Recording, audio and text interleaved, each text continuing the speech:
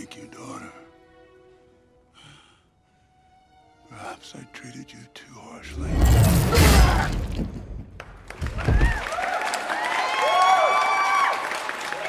What?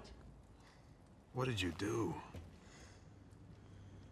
I went for that. Siu papi munyanyo munyanyo. Let's go.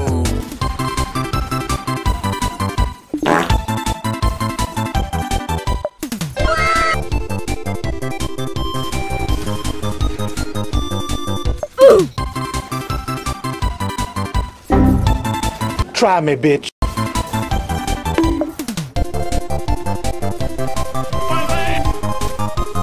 Target locked.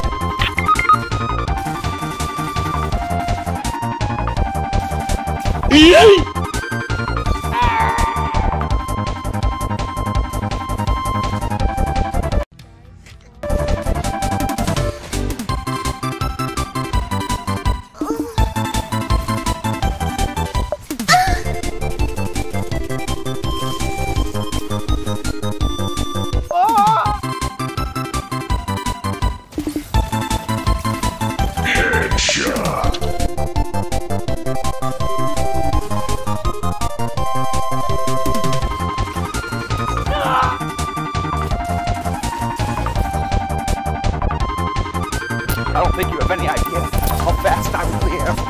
I'm fast as fuck, boy.